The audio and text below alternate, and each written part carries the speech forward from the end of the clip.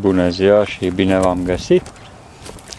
Iată, am mutat uh, albinuții în casă noi. Sunt albinuți la apă, încă e seară, dar nu asta vreau să vă arăt azi. Astăzi vreau să vă prezint ceva ce m-am gândit uh, toată iarna de la o singură poză de pe internet. O să vă arăt anul acesta voi folosi aceste obiecte. Este prototipul deocamdată plecând de la o ramă. Deci această ramă, microramă. Iată o microramă, voi folosi micronuclei anul acesta. Asta am văzut pe internet, m-am apucat și am făcut. Iar după dimensiunile acestei uh, rame, așa, după dimensiunile acestei rame am uh, creat uh, această cutie. Iar această cutie va fi micronucleu. M-am gândit că o singură ramă va popula acest uh, micronucleu. Bine, așa arată el, este prototip, nu-i finisat. Am luat și eu din ce am avut, o ladă mai veche ce n-am folosit.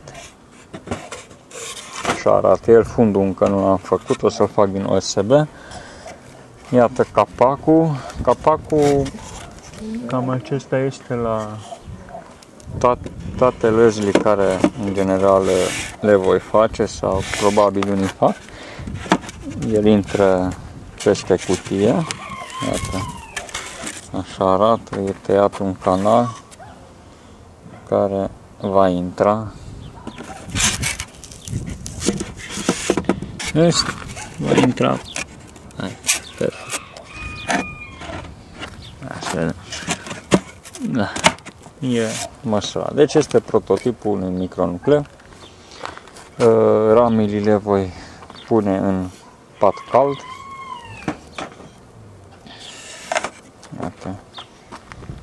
El va avea urdiniș aici. Și bineînțeles fundul care încă nu l-am făcut va avea o aerisire în spate. Deci cam așa va arăta el.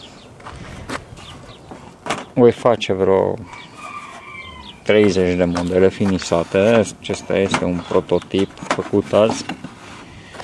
După ce mi-am tot bătut capul cum să fac economie mai multă de albină. Iată așa va arăta el.